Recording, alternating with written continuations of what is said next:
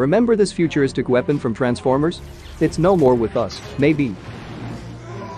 The Navy spent more than 10 years and some $500 million developing the electromagnetic railgun and once considered putting them on the new Zumwalt-class stealth destroyers.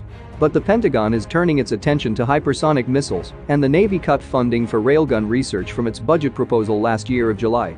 But nobody knows what's going on behind the closed doors, or maybe it's just a step to deceive the world and strengthen the secrecy of project. Railguns use electricity instead of gunpowder or jet engines to accelerate a projectile at Mach 6 or 7 that creates enough kinetic energy to destroy targets. But one of the problems is railgun's limited range of just 110 miles. It means you have to put the warship in range of enemy missiles. Also a conventional gun needs refurbishing after some 600 rounds, while a railgun needs it just after firing two dozen rounds. Maybe the railgun is not available right now, but who knows? But it would be someday, some year, this century.